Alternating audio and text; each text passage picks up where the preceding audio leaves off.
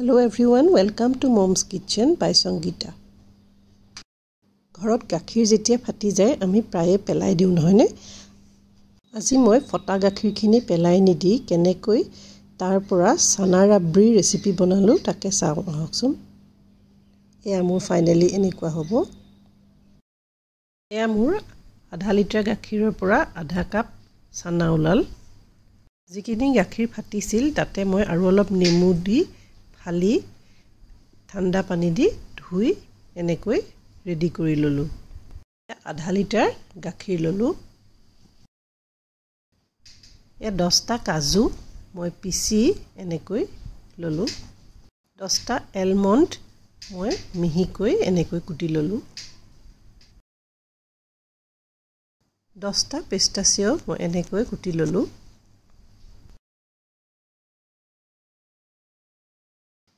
Three tablespoon sugar ল'লোঁ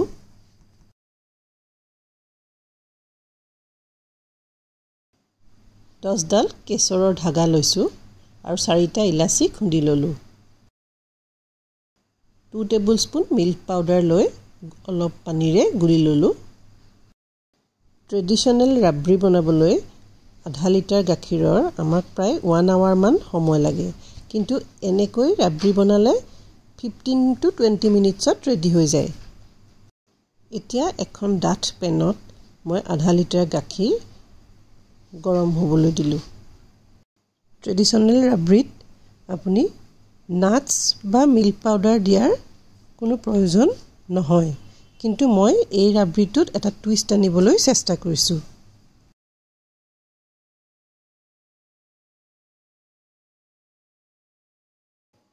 গাখীৰখিনিত এনেকৈ উতল আহোঁতেই মই কেশৰৰ ধাগাকেইডাল এনেকৈ দি দিছোঁ। এইটো অপশ্যনেল আপুনি নিদিওঁ বুলি ভাবিলে নিদিলেও হ'ব। কিন্তু চেফ্ৰনৰ গোন্ধ আৰু ৰংটো বৰ সুন্দৰ লাগে এনেকুৱা ৰাবৰিত গাখীৰখিনি মই মিডিয়াম হিটতে উতলাই আছোঁ আৰু দুই মিনিটমানৰ সময়ৰ পিছে পিছে লৰাই আছোঁ। এতিয়া মই ইলাচিৰ গুড়াখিনি তাত দি দিলোঁ।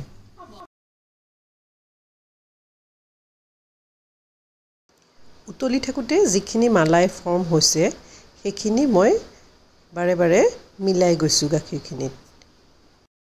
আপোনালোকে মোৰ ভিডিঅ'টো শেষলৈকে চাই যাব। মই দুটামান টিপছ এণ্ড ট্ৰিক্স দিবলৈ চেষ্টা কৰিম।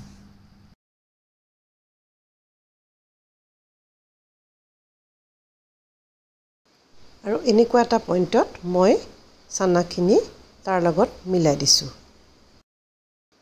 আৰু লৰাই লৰাই চানাখিনি ভাঙি ভাঙি গাখীৰৰ লগত মিক্স কৰি পেলাইছোঁ। ৰাবৰিৰ যিটো দানাৰ টেক্সাৰ এই চানা ৰাবৰিটোত বৰ সুন্দৰকৈ সেইটো আহে।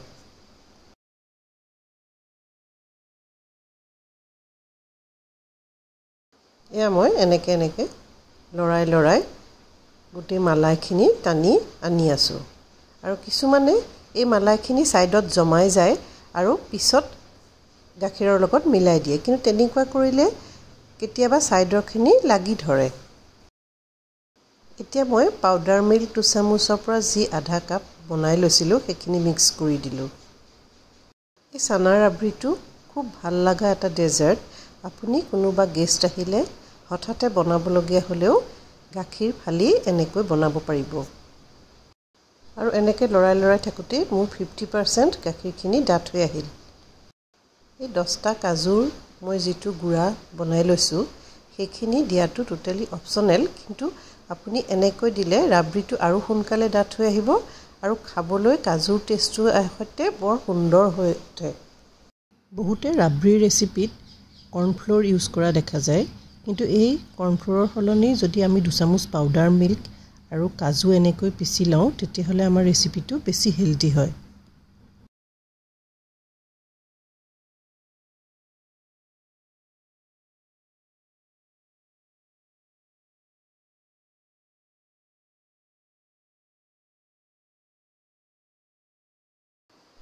আৰু এতিয়া মই three tablespoon sugar add কৰি দিছোঁ আৰু গাখীৰখিনি ডাঠ হৈ আহি আছে। মই চেনিখিনি দিয়াৰ পিছত খুব ভালকৈ আকৌ এবাৰ মিক্স কৰি পেলাইছোঁ।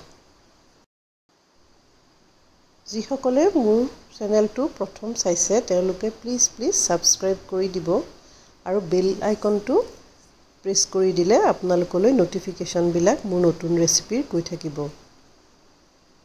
ৰেচিপিটো ভাল লাগিলে লাইক কৰিব কমেণ্ট কৰি মোক জনাব।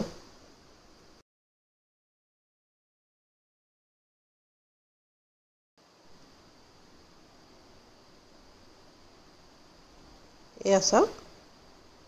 মোৰ ৰাবৰিটো প্ৰায় হৈছেহি।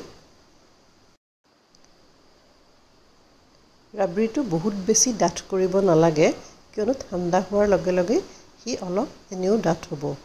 এতিয়া মই এলমণ্ড আধাখিনি এড কৰি দিছোঁ আৰু আধা মই গাৰ্নিচিঙৰ কাৰণে ৰাখিছোঁ।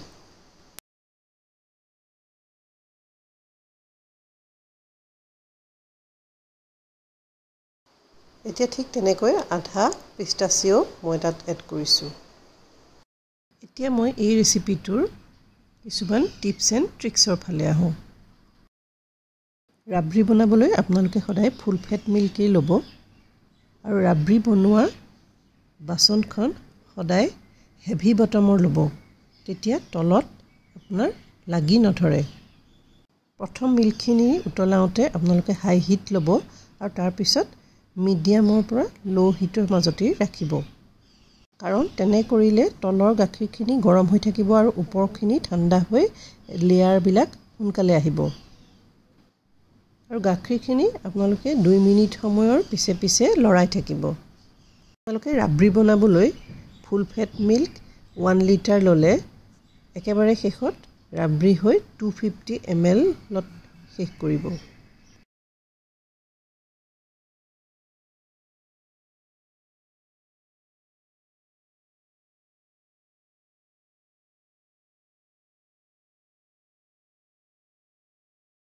এয়া চাওক ডাঠ হৈ আহি আহি কেনেকৈ ছাইডত মালাইবিলাক গোট খাইছে।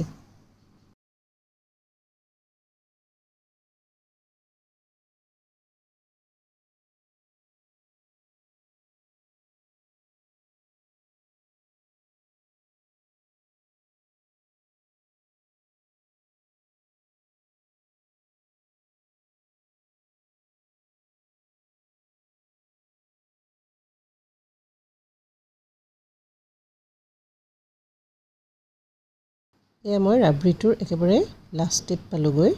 এইখিনি ষ্টেপলৈকে মোৰ টুৱেণ্টি ফাইভ মিনিটছৰ দৰকাৰ হ'ল।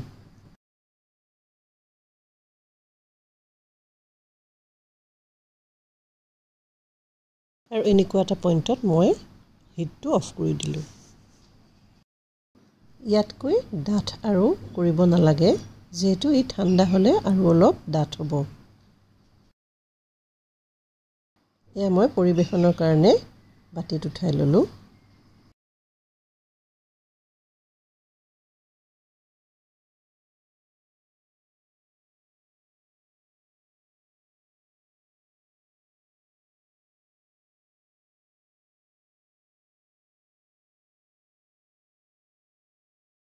আৰু কাটি থোৱা এলমণ্ড আৰু পিষ্টাচিঅ দি পেলাই মই গাৰ্নিচিং কৰিলোঁ। এনেকৈ যদি আপুনি ৰাবৰি বনাই দিয়ে তেতিয়াহ'লে আপোনাৰ ঘৰৰ মিঠা ভাল নোপোৱা মানুহেও খুব বেছি টেষ্টি পাব। এয়া মোৰ পাৰ্চনেল এক্সপিৰিয়েঞ্চৰ ফালৰ পৰা কৈছোঁ।